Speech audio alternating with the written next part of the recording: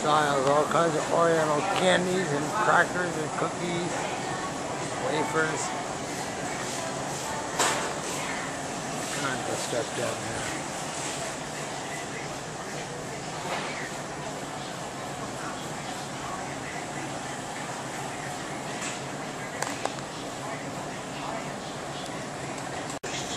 And there's all kinds of cooking pots and stuff like that you can use.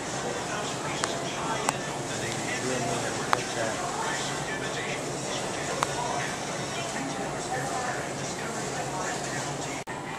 And there's some more different types of, I think this is mostly serving stuff here.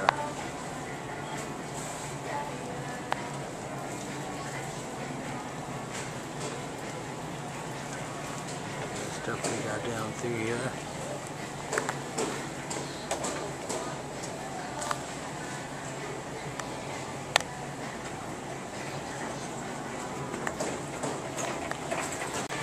Yeah, just wanted to compare the size of some of these pots for you. Yeah, it looks like a pretty good sized pot. It's a little bit bigger. Ready for this?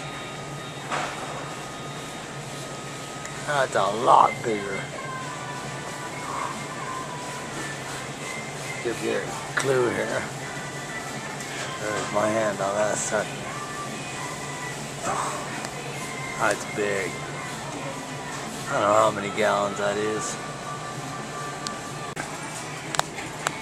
Not quite sure what these are. What they look like opened up. Somehow.